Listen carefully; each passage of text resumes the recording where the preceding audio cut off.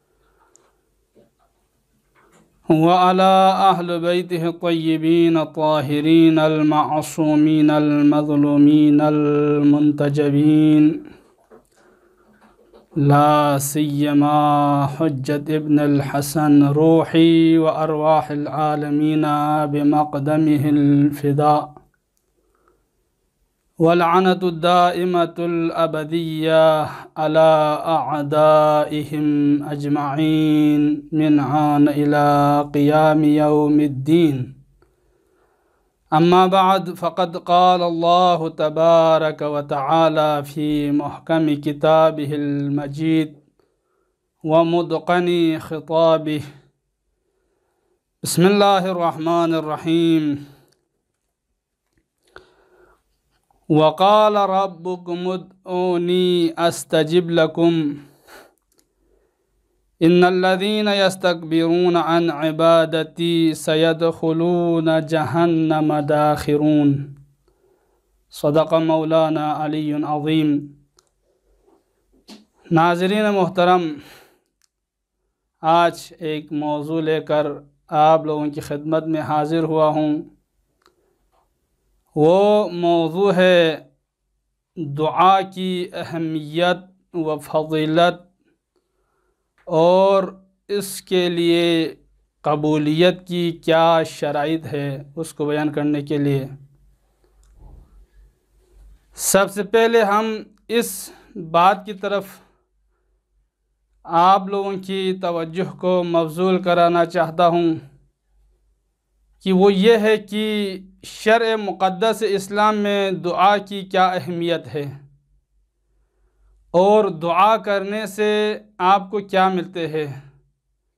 दुआ की क्या फजीलत है? कुरान और हदीस की रोशनी में चंद दकीक़ा उसके बारे में बहस करेंगे।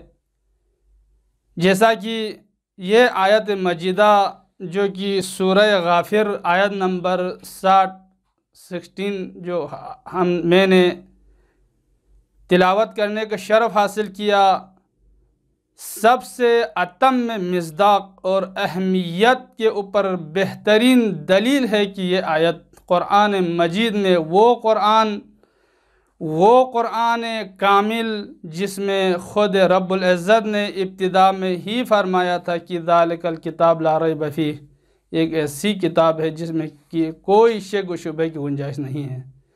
तो इसमें रब्ज़त फरमा रहा है वक़ाला रब्बुकुमुदऊनी अस्तजिब लकुम। तुम्हारे रब का, यानि आपके परवरदिगार का फरमान है, आपके परवरदिगार फरमा रहा है कि तुम लोग मुझसे दुआ करो, मुझसे पुकारो कि मैं तुम लोगों की दुआ को कबूल करूँगा, इजाबत करूँगा, मुस्तजाब करूँगा। ख़ुद अल्लाह फरमा रहा है। रसूल गिरामी इस्लाम से ख़ताब हो, मुखातिब होकर फरमा रहा है कि आप लोग मुझसे दुआ करें, मुझसे पुकारे, मैं तुम लोगों की दुआ को कबूल करूँगा। इन लदीना यस्तकबिरून अन इबादती। अगर कोई लोग, अगर कोई शख्स, अगर कोई बंदा मेरे बंधु में से तकबर करे अपने रब के हाँ दुआ करने से तकबर करे, कतराए। तो अल्लाह फरमाते हैं सैद खलून जहन्नम दाखिर हम उनको अनकरीब जहन्नम में दाखिल करने वाले हैं।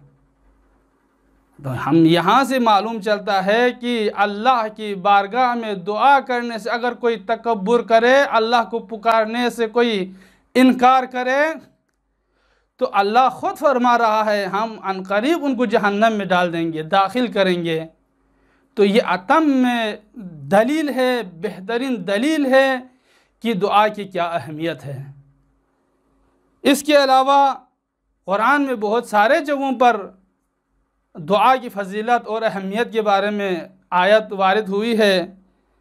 उनमें से एक ये है कि सूरह काफ में रब्ज़त का फरमान है कुल्लाह ए रसूल, कह दीजिए कि वो लोग मुझसे पुकारे, अल्लाह से पुकारे।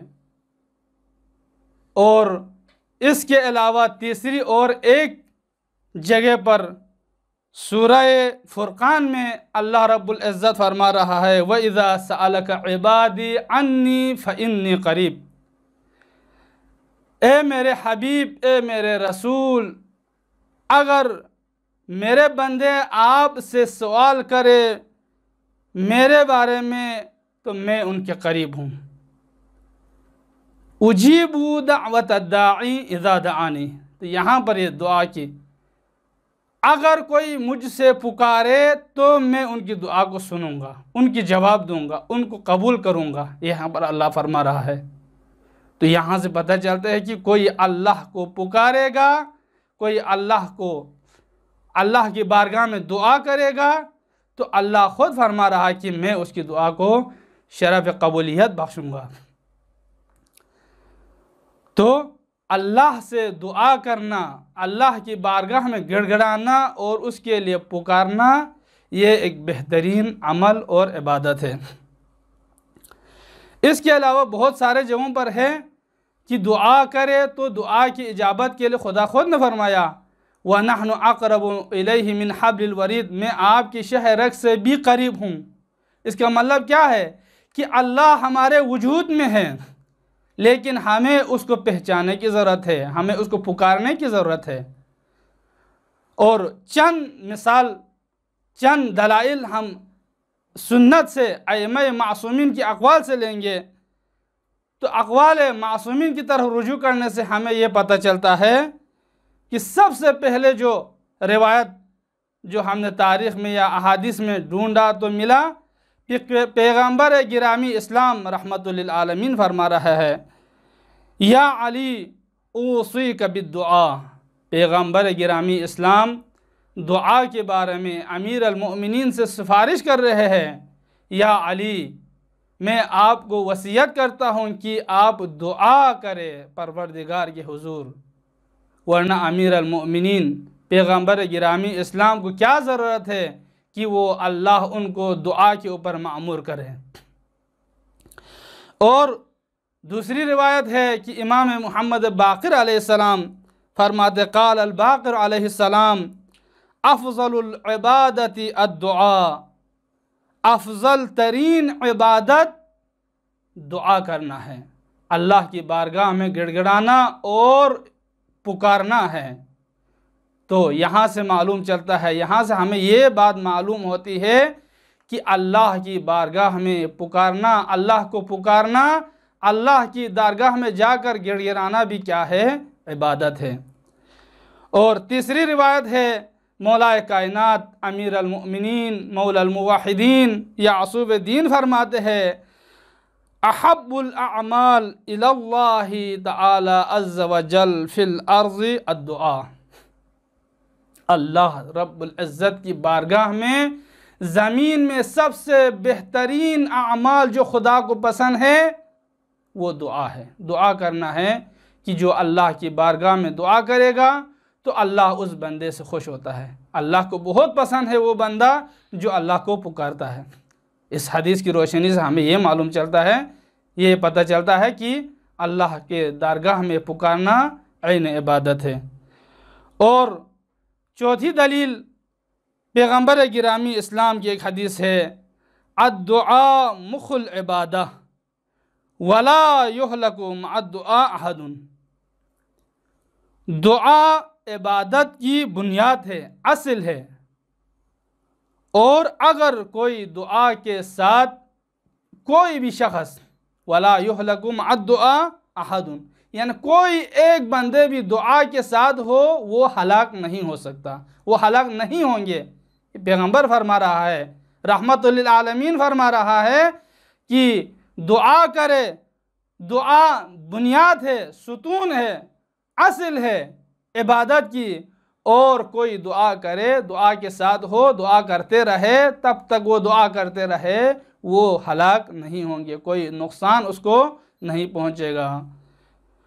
और पांचवी दलील है, इमाम सादिक आल मोहम्मद से फरमाते हैं अलई कभी दुआ आप लोगों के ऊपर दुआ करना ज़रूरी है। फ़िन नफ़ी शिफा उन मिन दुआ एक ऐसी चीज़ है, इसमें अल्लाह रब्बुल इज़्ज़त ने तमाम मरज़ के लिए शिफा रखी है इसमें। तो यहाँ से मालूम होता है कि दुआ की क्या अहमियत है, क्या फजीलत है। तो हमें दुआ करना चाहिए अल्लाह की बरगाह में। अल्लाह रब्बुल इज़्ज़त की दारगाह में जाकर गिड़गिड़ाना चाहिए, फरियाद करना चाहिए और अल्लाह से दुआ मांगना चाहिए। यह है दुआ की अहमियत के ऊपर चंद एक दलाइल और इसकी शरत बहरहाल तफसीलत तफसीलत में नहीं जाऊँगा मुख्तसरा इनकी कुछ कुछ शराइत है, उन शराइत को बयान करूँगा। जैसे कि आम तौर पर हम जो भी, कोई भी इबादत करता है या कोई अमल बजा लाते हैं तो उनके लिए चंद एक शराइत मौजूद है। बग़ैर शराइत के वो अमल हमारे लिए कोई फ़ायदा मंद नफ़ा बख्श नहीं होता है। मसलन, नमाज़ पढ़ना है तो उसके लिए मुसली के बदन पाक होना चाहिए, पानी मबा होना चाहिए, कपड़े पाक होना चाहिए, कबिल रुख होना चाहिए, ये तमाम चीज़ें क्या शराइ में से हैं? तो यहाँ पर दुआ की कबूलियत के लिए भी चंद शराइ बहुत सारे शराइ ज़िक्र किया है मुबारकिन ने। तारीख़ में जब हम जाते हैं तो बहुत सारे शराइ है। इनमें से अहम तरीन चार पाँच शराइ जो ज़िक्र हुआ है, जो यहाँ बयान करके, बयान करेंगे। उनमें से पहला यह कि मारफत खुदा होना चाहिए। हमें दुआ करे और रब्बुल इज़्ज़त की मारफत ना हो, उस दुआ की कोई फ़ायदा नहीं है। तो क्या होना चाहिए?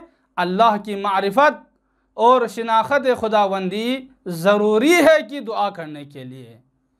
दूसरा, इज्तनाब मुहर्रमात मुहर्रमात से बचना चाहिए, गुनाह को तर्क करना चाहिए। इधर से हम गुनाह भी करें और उधर से भी दुआ भी करें, ये नहीं हो सकता है। ये ज़िद है। बल्कि हम ये दुआ करें और इधर से ये पक्का और पुख्ता इरादा करें कि हम आज के बाद से दुआ करेंगे और अपने रब की बारगाह में पलट के जाकर उससे गिड़गिड़ाएँगे, दुआ करेंगे। और इधर से हम जो अल्लाह को नापसंदीदा अफ़ाल है, अमाल है, उसको तरक करने का पक्का इरादा करें। तीसरा यह है कि शराइ में से कमाई हलाल की होना चाहिए। जो गज़ा, जो लकमा, जो खाना हम खाते हैं या पीते हैं या जो लिबास हम पहनते हैं, वो पाक, साफ़ और पाकिज़ा और हलाल की होना चाहिए। हराम की, नापाकी की कोई चीज़ हो गसबी की कोई चीज़ हो तो वहाँ पर दुआ करने की कोई फ़ायदा उसमें बह कर उसमें रह कर और उस चीज़ से मलबूस होकर दुआ करने का कोई फ़ायदा नहीं है। और चौथी चीज़ यह है कि हुजूर कल्ब होना चाहिए। गफलत और नींद की हालत में, सफाहत की हालत में दुआ का कोई फ़ायदा नहीं है, बल्कि हम खुशू और हुजूर कल्ब होकर अल्लाह की बारगाह में इस तरह हाजिर हो कि परवरदिगार हमारे सामने अभी खड़ा है। इस हद तक हम हुजूर कलब होकर दुआ करें तो उस दुआ की अहमियत है और वो रब्ज़त जल्दी कबूल करता है। और पाँचवीं शर्त यह है कि अखलास के साथ होना चाहिए दुआ। खलूस नीयत के साथ होना चाहिए। बग़ैर अखलास के कोई काम फ़ायदा मंद नहीं होता है। और छठी शर्त यह है कि दुआ की कबूलियत के लिए, दुआ की अहमियत के लिए, फजीलत के लिए कि इंसान सही व कोशिश भी साथ रखे। हम इधर से जान नमाज़ बिछा के अल्लाह को रिज़ के बारे में दुआ करते रहे और इधर से हम थोड़ा सा भी दो कदम भी आगे न चलाए। ये नहीं हो सकता है। अल्लाह ज़रिया बनाते हैं। अगर आप और मैं दुआ करें और दुआ करने के साथ साथ हम कोशिश करें तो उस कोशिश में अल्लाह बरकत देता है और ज़रिया बनाता है और उसमें राह हमवार करता है।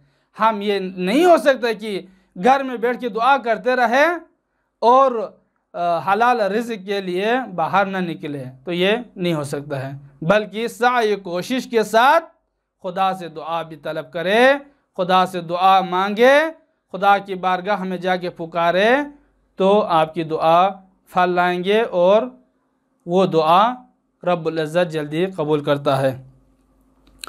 तो इन बातों का ख़ुलासा ये है कि इन सब का निचोड़ कि दुआ दुनियावी और अखरवी तमाम हाजात की तकमील का ज़रिया है। तमाम दुनियावी, अखरवी जितने इंसान की हाजात है वो तमाम हाजत आप अपने परवरदिगार की दरगाह में इन तमाम शराइ के साथ हुजूर होंगे तो वो रब्ज़त सुनने वाले ज़ात है, वो आप और मेरी दुआ को रद्द नहीं करता। और दुआ गमों और मुसीबत को इंसान से दूर करता है। जितने गम और मुश्किलात और परेशानी इंसान को लाक हो जाए, उसका वाहिद हल यह है कि वो अल्लाह की बरगाह में रुजू करे, अल्लाह से तलब मगफरत करे, दुआ करे तो वो रब्ज़त आप और मेरे मुश्किल को और आप और मेरे परेशानी को दूर करता है। दुआ अहद, यानी आबद और मबूद के दरमियान में एक मज़बूत रिश्ते का नाम है। दुआ के ज़रिए से बंदा जो है अपने रब से नज़दीक हो जाता है। तो दुआ का फ़ायदा यह है कि हम दुआ करेंगे तो जितना आप और मैं खलूस दिल के साथ, हजूर कलब के साथ आप और मैं अल्लाह से दुआ करेंगे तो अल्लाह की दरगाह से हम अल्लाह से जितने, उतने ही हिसाब से क्या हो जाएँगे? अल्लाह से करीब होते जाएँगे। ये दुआ के फ़वाद में से एक फ़वाद ये भी है। और दुआ अखलास अमल की तरफ़ रगबत बढ़ाते हैं। यानी जो भी दुआ करते हैं, परवरदिगार की दरगाह में जाकर रब्ज़त की दरगाह में जाकर जो भी दुआ करता है, खलूस नीयत के साथ, खलूस दिल के साथ, खुशू के साथ तो उसके लिए अमल में रगबत, अमल खैर में, अमल खैर की तरफ़, अल्लाह की उबूदियत की तरफ़, उसकी तरफ़ रगबत बढ़ती है। वो उसकी तरफ़ जाने का शौक़ और ख्वाहिश पैदा हो जाते हैं। इसी के साथ दुआ करते हैं रब्ज़त की दरगाह में परवरदिगार हमारे इस खलील से इबादत को तेरी दरगाह में कबूल व मकबूल फरमाए व आखिर दावाना अनिलहमदिल्ला रबालमीन